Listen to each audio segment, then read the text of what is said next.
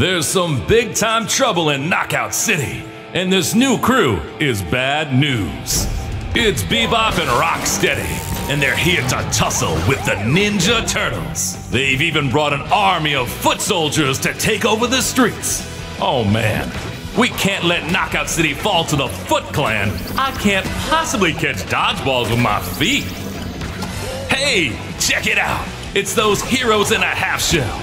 And the Foot Clan don't stand a chance. Looks like they're having a little friendly competition to see who can bruise the most baddies, Knockout City style.